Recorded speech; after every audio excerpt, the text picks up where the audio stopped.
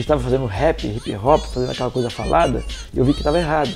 Quando eu terminei de fazer a música, eu falei, caramba, Eureka, é esse o caminho. Eu estava lá no baile quando eu encontrei uma Primeira música que fez sucesso nacionalmente foi Feira de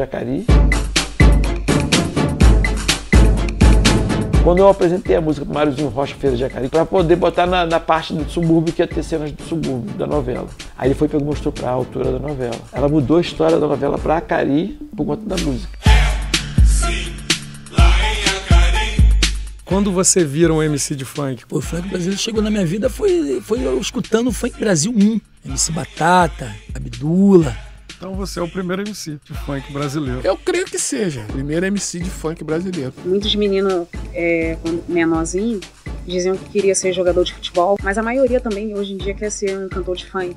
Né, Morena Bonita vem comer aqui chocolate morango com abacaxi. Foi a primeira música assim que eu, que eu uhum. fiz, né? E até hoje é o hino da comunidade, que é o rap da Rocinha. Ô lele, ô lalá, a Rocinha pede a paz, pro baile não acabar. Cara, tem um negócio pra mostrar pra vocês aqui, ver se vocês curtem. Peguei, botei lá e falei, cara, maneiro, diferente, né?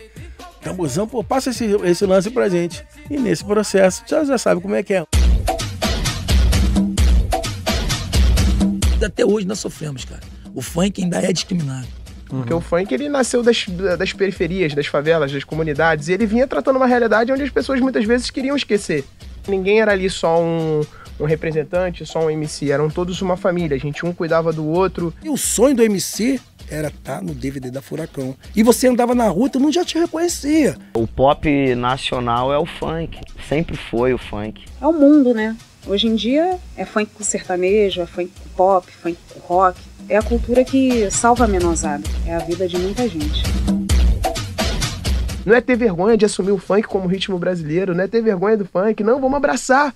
O funk também é ritmo nosso, assim como o samba. DJ!